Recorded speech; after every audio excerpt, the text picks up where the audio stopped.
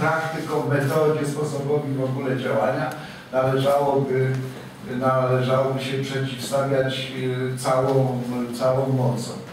I, no i, i, i tu może jest y, ze 20, z 15, jak to chcę liczyć, procent y, tego punktu, tego standardu, te, tego kryterium. Jeżeli chodzi o motywację, no to ja tu w ogóle nie widzę to, co się stało, jak się stało, łącznie z przebiegiem później innych wydarzeń, to budzi najwięcej moich wątpliwości i tu poprzestanę na tym, bo wiadomo, do głowy, do serca, do, do, do, do emocji się nie, nie dostaje. Nie. Autentyczność materiałów nie podlega to też weryfikacji. Czy co do braku innych możliwości pokazania sprawy, wydarzenia, poglądu czy opinii. Też uważam, że pewnych ocen nie dałoby się przekazać z nazwiskami, z nazwami firm, instytucji bez tego typu materiału, ponieważ tutaj też trzeba też pamiętać o jeszcze jednym elemencie. Świat polityki i świat biznesu w ostatnich dziesiątkach lat niezwykle się sprofesjonalizował. Sposób działania, decydowania, zabiegania o pieniądze, wyciskania z czego się da więcej nawet niż można sobie wyobrazić, to jest yy, ogromny postęp. I gdy się popatrzy na media sprzed 10, 15 lat czy sprzed 5, to widać jak my dręczemy, jak y, tak się kołyszemy, jak tak idziemy sobie. A ten świat y, polityki, świat y, biznesu galopuje.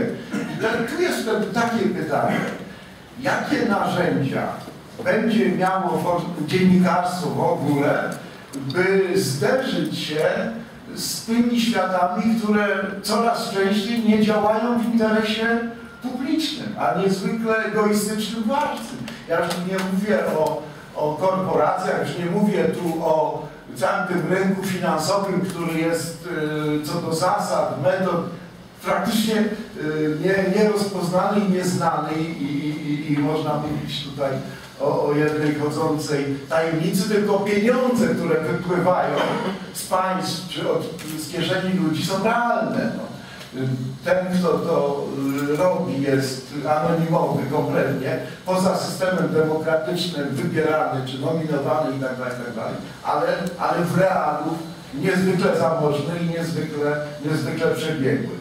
I jak się zgodzimy, że posłuchy nie, no bo tu powodów y, takiego myślenia jest już nam to przekazanych, no to zadajmy sobie też pytanie, jak, jak, bo żeby się nie okazało, że y, jest nowa technologia, nowa armia, my w zbroi na koniu po prostu. O prawdę, sprawiedliwość, pełną informację i, i, i, i, i jako y, piąta władza, nie wiem jaka władza tamtym koniem, no, czy nad zbroją. Proszę bardzo. Ale tak już. Więc interes publiczny to zawsze kwestia oceny oczywiście. Możemy tylko na przykład popatrzeć na to, y, na y, zawsze musimy to w konkretnym przypadku y, zobaczyć, w konkretnej sytuacji.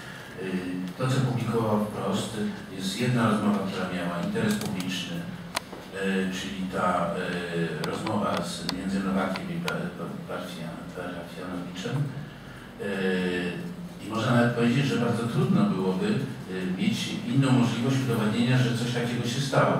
Tylko nie wiemy, czy ten grzech, czy, czy coś tam się stało tak naprawdę, czy ten papierowicz rzeczywiście zainterweniował. No to jest trudne do sprawdzenia. Ale to jest oczywiste. Druga rozmowa. Można się opierać, że ci, którzy uważają, że tam został pewien deal, można było to próbować w inny sposób opisywać, nie odwołując się do podsumowania prawda? No. Można było to potraktować jako sygnał, że, że deal się, e, został zawarty i spróbować to zbadać, co, co się stało i tak dalej. Cała reszta, jak Sikorski i tak dalej, jest czyste podsłuchiwactwo, nie ma żadnego interesu publicznego i, jest, i to po prostu wyraźnie widać, że to po prostu jest żaden interes publiczny, tylko interes nakładu gazety. Brak innych możliwości. W tych czterech przypadkach, no trochę to o, o tym powiedziałem, że moim przekonaniu w większości, jeżeli ograniczymy to do tych dwóch rozmów, które w wchodzą w grę, spełniają pierwsze kryterium, to, to w przypadku drugiej rozmowy interes, jak istnieje możliwość próby jakby innych, innych możliwości zasygnalizowania pierwszej chyba nie, ale nie. Autentyczność ujawnianych informacji to jest kwestia w przypadku podsłuchu po prostu, czy to jest kompletne, czy nie, prawda? Ale to nie jest kompletne, oni wycinają prywatne, znaczy i dobrze, że wycinają te dotyczące spraw prywatnych, prawda? Znaczy, tylko, że dlaczego oni wycinają? Szczerze mówiąc, nie dlatego, że są tacy praworządni, tylko dlatego, że się boją o proces, dlatego, że w przypadku, jeżeli to, y, spraw czysto prywatnych, y, bardzo trudno wykazać interes publiczny. No, można być łatwiej skazany. O motywacjach wolę nie mówić, dlatego, że po prostu y, one, no, to jest zaglądanie ludziom w duszę i, i ani one są do, do dowodzenia, i trudne są do, do Dziękuję bardzo za to ustosunkowanie się do tych czterech punktów. Ja chciałbym przywitać jeszcze raz Panią redaktor Agnieszkę Romaszewską, wiceprezesa Stowarzyszenia Dziennikarzy Polskich oraz dyrektora stacji Bielsat TV. I mam nadzieję, że te kilka punktów być może delikatnie wprowadziło do tematyki naszej dyskusji, ale proszę absolutnie się do tego nie ograniczać, ponieważ Panowie już wcześniej odnosili się także szerzej do ogólnie problemu e, stosowania podsłuchów, dopuszczalności takiej e, metody e, i na ten temat się wypowiadać. To jeszcze raz chciałabym bardzo przeprosić za to, że z tego Białegostoku tak wyjeżdżałam. I bardzo się cieszę, że występuję jako, jako te, w tej chwili jako trzecia, bo to już dało mi od razu do myślenia. Jestem człowiekiem polemicznym, więc yy, najlepiej czuję się w polemice w odniesieniu do kogoś również. I tu muszę powiedzieć tak, że po pierwsze, mm, po pierwsze może zacznę od tego, co jeszcze nie polemiczne nie jest. To znaczy jest dla mnie oczywiste i tak było, jak zadzwonił do mnie Krzysztof Skowroński, żeby mi powiedzieć, że powinnam wziąć udział w tej debacie, no to powiedział, że to przerażające, teraz będą wszystkich wszyscy podsłuchiwać. No więc y, to, to faktycznie przerażające i rzeczywiście trzeba sobie zdawać sprawę ze skrajności takiej sytuacji i z, y, no, z tego, że to jest, że to jest y, takie fundamentalne naruszenie pewnych fundamentalnych podstaw relacji międzyludzkich. To jest bardzo poważna, poważny problem, czy można, czy nie można i kiedy można podsłuchiwać, kiedy ewentualnie publikacja tego typu danych, no bo każdy z nas mógł sobie wyobrazić, a część tu z nas ma jakąś rolę publiczną, co by się stało, gdyby to jego opublikowano rozmowę z kolegą na jakiś tam temat, prawda? Więc i myślę, że ta, że ta taka, takie, takie osobiste podejście tutaj e, zaowocowało częścią zresztą, znaczy zaowocowało częścią wniosków e, wyciąganych. No bo rzeczywiście nie byłoby to zapewne przyjemne, różnie by to mogło, różnie by to mogło być. No ale teraz jednak mamy do czynienia z... I w związku z tym chciałabym podkreślić jedną rzecz, że jest zasadniczą różnicą to, czy ktoś podsłuchuje faktycznie prywatne rozmowy, a to, czy podsłuchuje rozmowy, które w jakiejś mierze mogą być y, publiczne. I teraz pytanie, jak to rozróżnić? To jest bardzo skomplikowana, bym powiedziała, skomplikowana i zawiła sprawa, natomiast no tutaj y, ileś osób argumentuje, nie bez racji, że rozmowy na służbowych lunchach płaconych ze służbowych pieniędzy z natury muszą być zapewne służbowe. Przynajmniej powinny. Także to jest, i dla mnie to jest argument, który w danej kwestii wyraźnie był przemawiającym argumentem.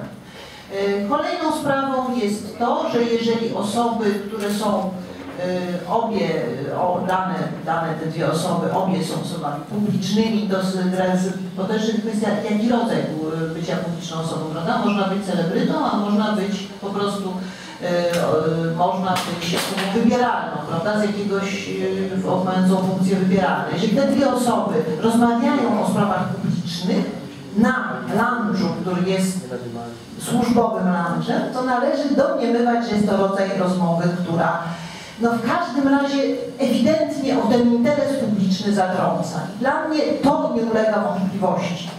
Yy, W tym przypadku ja absolutnie jestem przeciwna wygłaszaniu takiej, że to były prywatne rozmowy. One miały prywatne aspekty, rzeczywiście, ponieważ ludzie tak funkcjonują i dlatego generalnie również publicznych rozmów się nie podsłuchuje. Bo człowiek rozmawia na przykład z yy, kimś, z kim jest w relacjach służbowych, niemniej są tam aspekty również prywatne, więc mm, i tutaj wchodzą te rzeczy, o których powiedział yy, pan Bodnar przed chwilą, to znaczy y, te, te sytuacje, w których takie wchodzenie również prywatność może być usprawiedliwione, no, czyli w, w, ten, właśnie w to podsłuchiwanie również tych elementów prywatnych, no bo nie jesteśmy w stanie podzielić się na osobę publiczną i osobę prywatną na pół, prawda, i powiedzieć, że dziś ja jestem tylko publiczny, a potem jestem tylko prywatny, albo, więc to nie jest możliwe, to zawsze występuje w jakimś zmieszaniu. I teraz jest pytanie, które elementy w danej sytuacji przeważają. W, mojej, w moim przekonaniu, e, w przypadku e, tych publikacji wprost, w znacznie większym stopniu niż w wielu innych publikacjach przeważały te elementy e, świadczące o publicznym charakterze i publicznych, publicznej, publicznym zainteresowaniu, tym, że może być publiczne zainteresowanie te- tymi rozmowami. Zainteresowanie. No. Tylko. Sensacja. Tylko. A przepraszam, ale... E, Pozwólmy wypowiedzieć się za dosłownie 7 minut mniej więcej.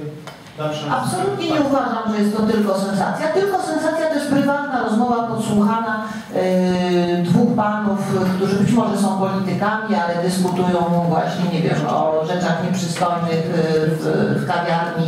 Natomiast nie wiąże to się z żadnymi planami politycznymi, nie dotyczy to ich planów partyjnych, yy, nie dotyczy to rządu, nie dotyczy to spółek Skarbu Państwa. To taka rozmowa rzeczywiście ma charakter tylko sensacyjny. I faktycznie tabloidy mają skłonność, która mi się bardzo nie podoba, nie wiem co z tym mamy należy robić, ale tak jest, mają skłonność również nieustannie upubliczniać tego typu rzeczy. To jest prawda. Yy, Przyczyną tutaj są sami, same osoby publiczne, sami celebryci, sami politycy, bo tu skupmy się na politykach, nie akurat yy, problem tego, jak yy, radzą sobie z mediami, tabloidami, aktorzy i postacie, postacie z seriali mnie interesuje. W tym przypadku interesują mnie politycy. I powiem tak, że jeśli chodzi o polityków, to jest oczywiste i jasne, że też sami są sobie winni. A dlaczego? Dlatego, że sami uruchamiają ten mechanizm. Jak słusznie powiedział przede mną pan Domański, przed, y, PR absolutnie wyprzedził media. O wiele, y, public relations wyprzedziło media o wiele kilometrów. I w tej chwili ustawki z tabloidami są rzeczą naturalną i nie tylko z tabloidami, z prasą kolorową, ustawki z- nawet z mediami poważnymi bywają. Y, Pokazują się ci politycy i w, ze spuszczonymi spodniami, i z dziećmi, i z psami, i, i, w- kapeluszu, i bez kapelusza, i w dowolnych po prostu e, postaciach. I to jest niesłychanie prowokujące następnie, bo jedno się, jedno się wpuszcza się do kuchni e, media przyjaźnie, potem ci wchodzą do kuchni nieprzyjaźnie i mówią, że masz brudne naczynia w zlewie. Natomiast ja osobiście jestem zwolenniczką tej tezy, że brudne naczynia w zlewie są, e, niezależnie od tego, że one mogą coś mówić o charakterze polityka, są jego absolutnie prywatną sprawą.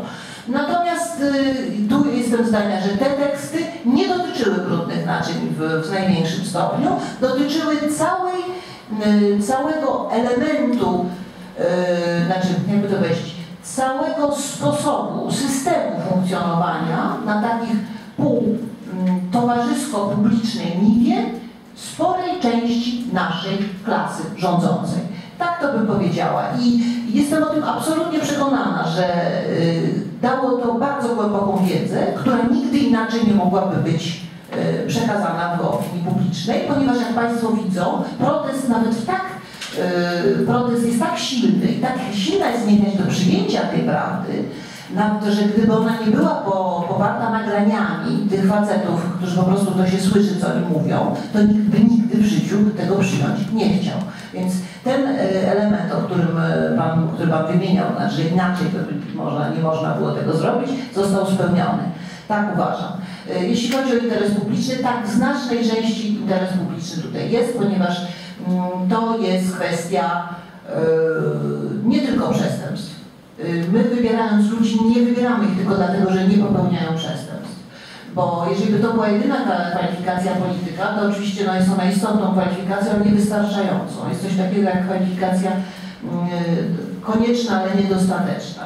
To, y, to, to, że ktoś nie popełnia przestępstw, to jeszcze nie znaczy, że ja mam, że on jest moim, będzie bardzo dobrym moim przedstawicielem. Więc to, że ktoś y, nie popełni, że mówi się tam nie było, nie było mowy o przestępstwach, w każdym razie potencjalnym przestępstwach. No kilku było, to jest niewątpliwie, przynajmniej można to osób y, przypuszczyć, że o kilku była, to była kwestia chociażby y, tych y, dywagacji dotyczących, no moim zdaniem dotyczących złamania konstytucji pomiędzy panem Berką a panem Sienkiewiczem. No a potem jest kwestia pana, pana Parafianowicza i pana Nowaka. Natomiast reszta to są po prostu bardzo poważny problem stosunku tych osób do funkcji, które pełnią. To znaczy, co z nich wynika moim zdaniem. I teraz ja mówię już jako czytelnik, nie mówię jako szef y, Związku Dziennikarskiego, tylko jako czytelnik. Moim zdaniem wynika z tego, że absolutnie nie wierzą w to, co robią. W ogóle nie wierzą. Po prostu nie wierzą. I niemożliwe jest, żeby ludzie, którzy całkowicie nie wierzą w to, co robią, żeby to było ukryte przed opinią publiczną, bo ja musiałam to wiedzieć również, że oni w to nie wierzą. Bo jak ich wybiera, to teoretycznie jednak zakłada się, że oni w coś tam wierzą. No i jeżeli taka jest zasadniczy element, moim zdaniem, tego dobra publicznego, uwi- uwidocznienie, że ludzie nie wierzą w to, co robią. Otóż proszę Państwa, jak ja y, czymś się zajmuję, można zapewne nagrać mnie w wielu bardzo kompromitujących sytuacjach, ale jednej by nagrać nie można było. Że ja mówię, że to, co robię, to jest, przepraszam, nie będę cytować, ale po prostu takiej możliwości nie ma, bo takiego nagrania by nie było nigdy. Nie ma takiej możliwości, bo ja po prostu wierzę w to, co robię. I uważam to za zasadniczą kwalifikację dla polityków i osób publicznych, żeby zasadniczo wierzyli jednak w to, co robią. I na tym e, chyba bym zakończyła, bo to jest ten aspekt, aspekt dobra publicznego, który mm, odkryły i któremu posłużyły e, taśmy e, opublikowane przez Frost.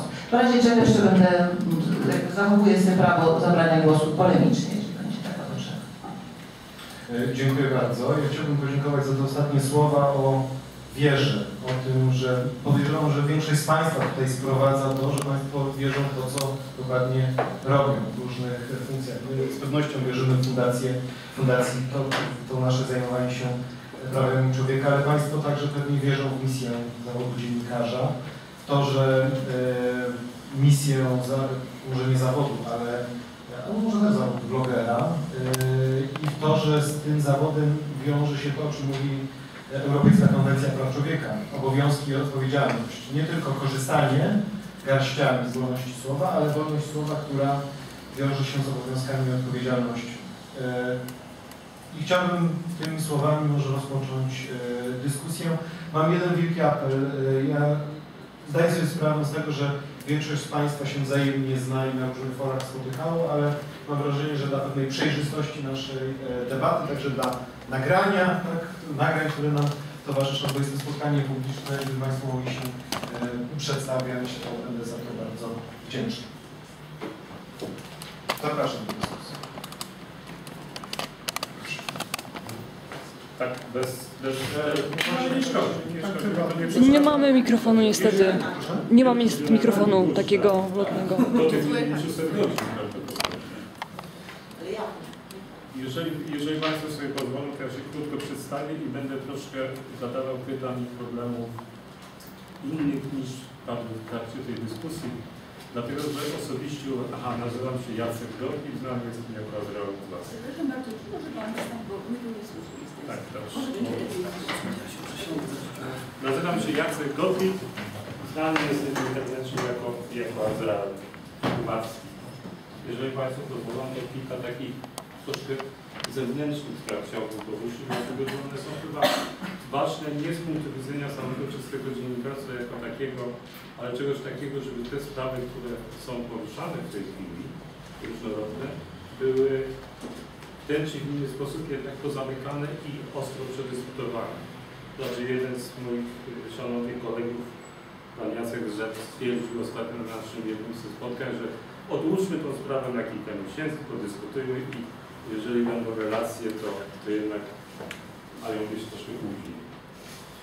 Sytuacja wygląda tak, że wydaje mi się, że w tej chwili najważniejszych jest kilka spraw. Przede wszystkim zakres yy,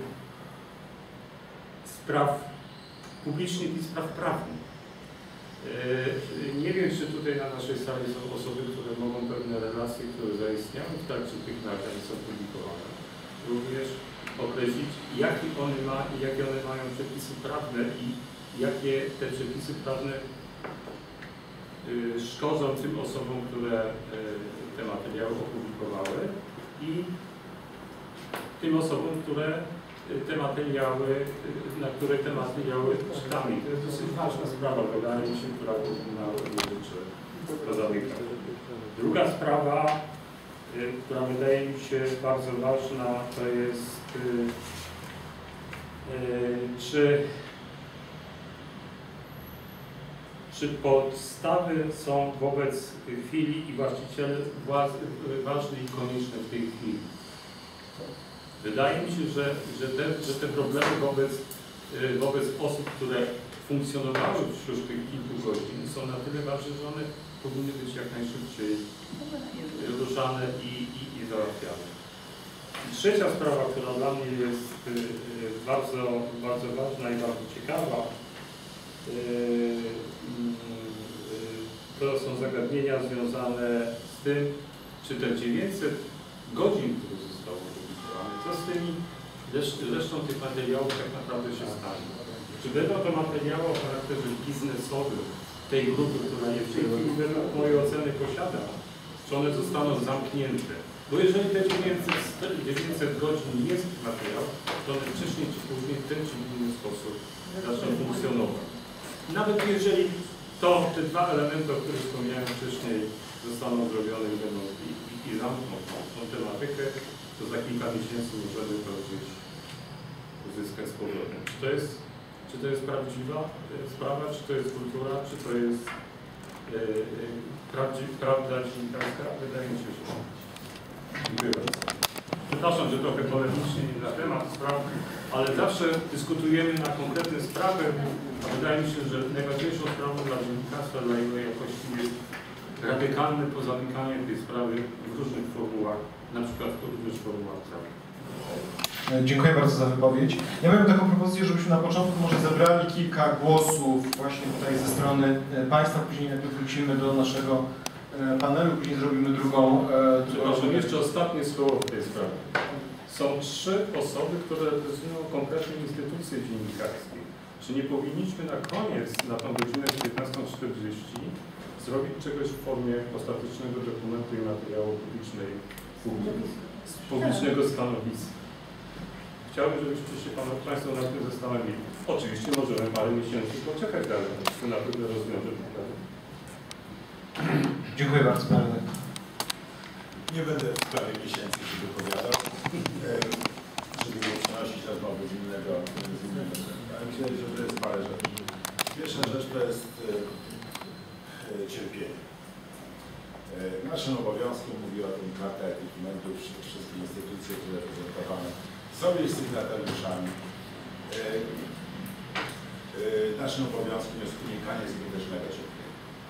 I w tym, w tym kontekście który musimy, myślę, posługiwać się mm, całym naszym warsztatem, w tym źródłami, a wśród źródeł także przeciekami tajnymi nagrania. E, Jeżeli, jeżeli ta, to upokarzanie ludzi przez publikowanie in extenso takich zapisów uważam za e, zbyteczne. E, Co innego są informacje pochodzące z ciebie. Tak jak jest z, z, z, pod- z podsłuchów, czy z nagrań, czy z jakiegokolwiek innego źródła. Y, I przecież są miliony godzin nagrań monitoringów miejskich. Y, Same te nagrania mogłyby złamać kariery, jak sądzę, połowy polskich polityków. Gdyby ktoś usiadł nad monitoringiem warszawskim. Y, Teraz, czy to by, było słuszne? Dlaczego nikt tego nie Podsuwam Państwu, bardzo proszę. Prawda? Czy to by było słuszne? tylko w bardzo wyjątkowej sytuacji. I teraz nie pokazanie tego, czy nie, nie przekazanie z nagrania, czy scenografii, tylko opisanie sytuacji. Przecież my nie jesteśmy rejestratorami.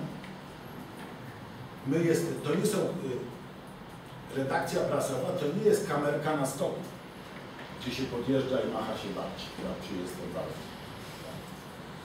My przekazujemy informacje, czy naszym obowiązkiem jest dostarczanie ludziom informacji, z którymi oni będą wiedzieli, co zrobić. Więc informacja dziennikarska to jest informacja o tym, że spotkali się dwaj ministrowie i jeden chciał przekonać drugiego do czegoś. A prawo mówi tak, albo tak, prawda, i to już jest komentarz. Tylko podawanie tego ekstazu służy wyłącznie ludzi. Bez względu na to, czy to są moi przyjaciele polityczni, czy są moi nieprzyjaciele I uważam, że trzeba wyjątkowo silnego argumentu, żeby jakiś zapis in extenso czegoś takiego podać. Oczywiście powstaje pytanie, no dobrze, ale czy publiczność nam uwierzy? Jak my napiszemy, że tak było, a nie damy tego dowodu. No to proszę Państwa, jak komuś publiczność nie wierzy, to musi zmienić zawód. To znaczy, że nie ma kwalifikacji społecznych. Znaczy on może być doskonałym dziennikarzem, ale nie przekonał do tego społeczeństwa. Więc jeżeli ktoś nie wierzy, że mu uwierzą, no to nie ma po co pisać. To wszystko, co piszemy, wtedy nie ma sensu. I tu wracamy do podstawy. To znaczy, czy taki model ujawniania praw politycznych, bo ja się zgadzam, że to jest z, z, z Agnieszką Romaszewską, że mm, to co- coś pokazało, ale zgadzam się też z Setkiem, że pokazało coś, co my doskonale wiemy i to można opisać. Jest, mamy techniki reporterskie, y, mamy techniki publicystyczne, potrafimy opisywać rzeczywistość, my jej nie transmitujemy. Y, Wracamy do podstawowej ka- kategorii zaufania. Czy media cieszą się dziś zaufaniem? Nie cieszą się zaufaniem. Dlaczego się nie cieszą zaufaniem? Bo zajmują się pastwieniem nad różnymi frakcjami społeczeństwa, a nie opisywaniem rzeczywistości. I mi się wydaje, że trzeba właśnie wrócić do fundamentów, nie do prawa. Ja powiem szczerze, mam w nosie, czy to narusza prawo, czy nie narusza prawa i proszę to swobodnie cytować. Mam to w nosie. Ważne jest, czy to jest dobre, czy jest niedobre. Bardzo często nieposłuszeństwo obywatelskie e, zaczyna bardzo dobre procesy. Ale tu musi być ta, to, ta, to musi być absolutnie pewna wiadomość. Strajk w 80 roku w Gdańsku był ta, takim przykładem nieposłuszeństwa obywatelskiego, jak wiadomo, był to strajk nielegalny. I w ogóle mnie to nie, nie interesuje, czy to jest legalne, ale czy to jest dobre. Czy nie można było mniej cierpienia zadać, załatwiając te same interesy publiczne? Moim zdaniem to jest niedobre i można było dużo mniej cierpienia.